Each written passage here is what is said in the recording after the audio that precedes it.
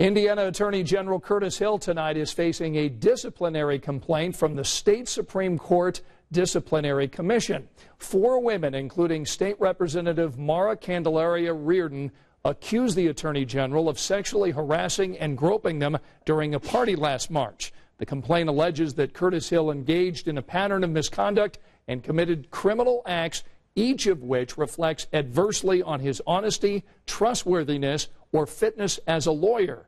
A special prosecutor declined to file charges last year, saying he believed that Hill's accusers but didn't have enough evidence for the criminal charges to be filed. An inspector general report came to a similar conclusion regarding ethics violations. The attorney general has 30 days to respond. Governor Eric Holcomb briefly addressed that complaint today. Uh, I haven't read it. I heard uh, the news broke, and you know I haven't changed my opinion since I originally spoke on the issue. Governor Holcomb has previously called for the Attorney General to resign. Hill's attorney released this response today, saying this matter will be addressed through the proper process outlined for disciplinary complaints in the state of Indiana. We are confident it will conclude in a manner consistent with the results of the prior investigations.